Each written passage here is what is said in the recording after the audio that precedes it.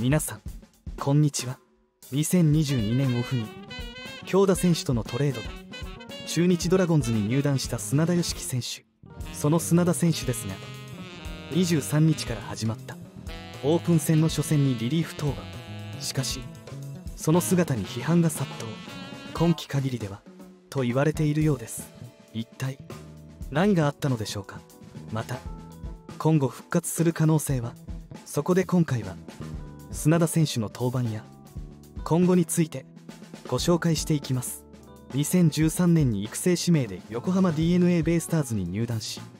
2017年には62試合2018年には70試合に登板するなどブルペンを支えていた砂田選手特に2018年はセットアッパーとして起用されその後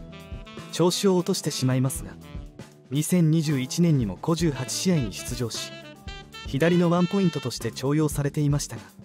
2022年には出番が激減。オフに京田選手とのトレードで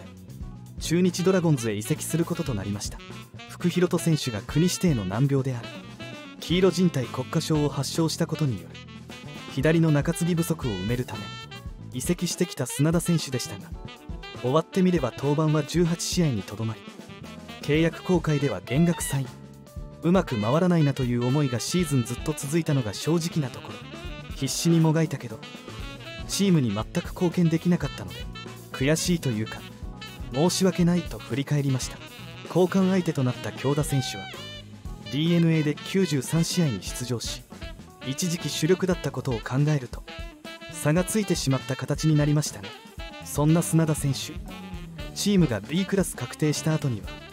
従来のフォームを捨ててサイドスローに挑戦することにフェニックスリーグで実戦登板しサイドスローの方が自信を持ってマウンドに立って打者と勝負ができている。いい方向に行きそうというのは自分の中であるのでもう少し詰めていきたいと手応えを得ていました。実際10月16日の宮崎フェニックスリーグでの西武との試合では1イニングを完璧に抑えておりこの日視界に迎えた西満塁のピンチで登板すると西武の4番中見川選手を夕頃に抑えて窮地を脱出。5回もマウンドに上がって三者凡退とし火消しに後続つなぎとリリーフとして完璧な投球を披露。これで3試合連続無失点となっていました。思った以上に打者と勝負できているのでいい感じです。試したいことはフェニックスでしっかりできていると思いますと手応えをつかんでいる様子で今季の復活に大きな期待が持たれていました。またキャンプは2軍スタートだったものの18日のキャンプでは今キャンプ最多となる120球の投げ込みを行っており再現性を高めるために100球超えの投げ込みはこれで3度目17日の d n a との練習試合チャタンでは1イニング無失点と好投した翌日の投げ込みに左右の打者に同じところに投げるにしても投げる時の感覚が違う。修正するためにも感覚をつかみたかったと説明していました。こうしてサイドスロー転向で手応えをつかみつつあった砂田選手満を持して23日のオープン戦である広島東洋カープとの試合に登板したのですが結果が悲惨な状況にまた数字以上に印象が悪かったようで今季までなのではという声も多く上がっているようです。この日視界に3番手としてマウンドに上がった砂田選手。トップバッターの中村選手は見逃し三振で仕留めたものの8番の久保選手に死球を与えてしまいます。そこから長い間合いで牽制してヒットを浴びその後も同様で最終的に死球を与え最終的に押し出しの死球で1失点。この回は1失点に抑えたものの結果は1回被安打1奪三振1四球3の1失点というリリーフとしては厳しい結果となっておりファンからは今年で終わりだろ。これではさすがに厳しいわ。左のワンポイントで期待していたんだけどなと厳しい意見が相次いでいます。確かに数字やマウンドの振る舞いを見るとこのままリリーフとして投げさせるのは厳しいものがあり大きな課題が残ったと言えるでしょう。しかも中日には同じ左腕でサイドの斉藤選手も存在しています。ここで結果を残せなければいよいよ居場所がなくなりますしファンの反応も仕方ない部分はあるでしょう。とはいえ立浪監督からの評価は悪くないようでカーブがよく曲がる点を取られたが本人もなんとか生き残ろうとモデルチェンジしていいものを出してもらいたいと姿勢を評価長年培ってきたフォームをまるっきり変更しているわけですしそう簡単に結果が出るわけもないですからね。ですがこの内容では立場が厳しいのは事実。果たして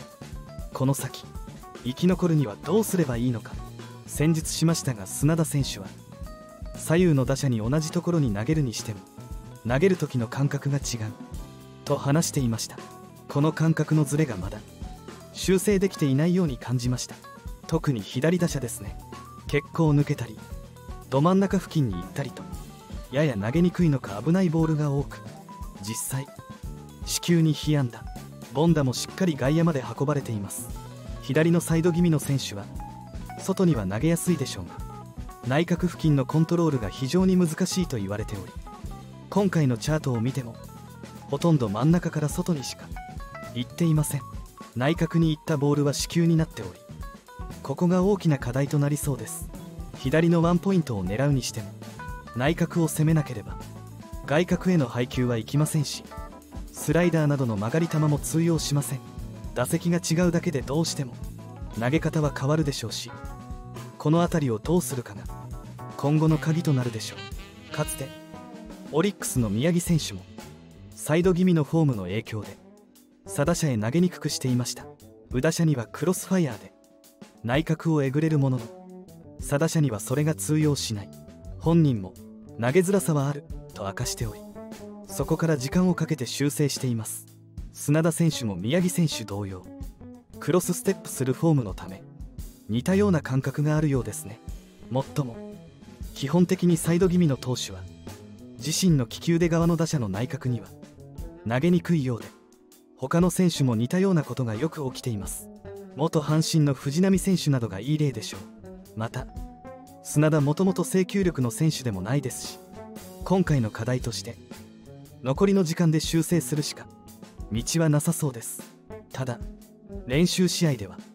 内角にスライダーを投げて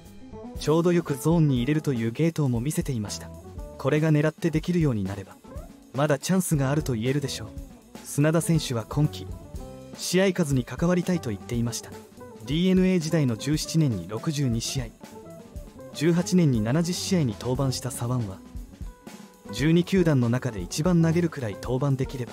そこを目指してやっていきたいと巻き返しを誓っています。果たしてここから巻き返し12球団1の登板数を記録できるのか。今後の活躍に注目ですね。最後まで動画をご視聴いただきありがとうございました。コメントを残してくれると嬉しいです。チャンネル登録高評価もぜひお願いいたします。それではまた。